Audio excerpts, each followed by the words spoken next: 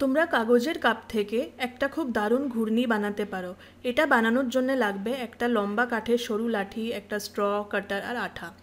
কাপটাকে গোল অনুযায়ী মধ্যে থেকে কাটার দিয়ে দু টুকরো করে নাও। ঘূর্ণিটা বানানোর জন্যে এই দুটো টুকরোরই দরকার পড়বে। এরপর অর্ধেক ভাগেরও অর্ধেক করে নাও।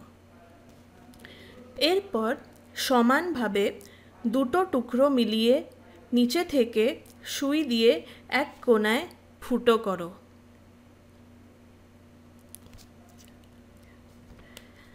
তারপর একটা স্ট্র মাথা, একটা স্ট্রয়ের মাথাতেও ফুটো করে নাও। ওই স্ট্রয়ের মধ্যে দিয়ে কাঠিটা ঢুকিয়ে নাও। তারপর ওই কাঠির দুদিকে কাপের টুকরোগুলো ঢুকিয়ে নাও। টুকরোগুলোর মধ্যে আঠা লাগিয়ে নাও, যাতে ওটা ভালোভাবে লেগে যাক। এরপর স্ট্রটার মধ্যে নিচে দিয়ে একটা কাঠি ঢুকিয়ে নাও, যাতে ওটা ভালো করে দাঁড়াতে পারুক। তোমার ঘূর্ণি তৈরি, ফ্যানের নিচে নিয়ে গেলে এটা গোল গোল ঘুরবে। খুব মজেদার এই ঘূর্ণি।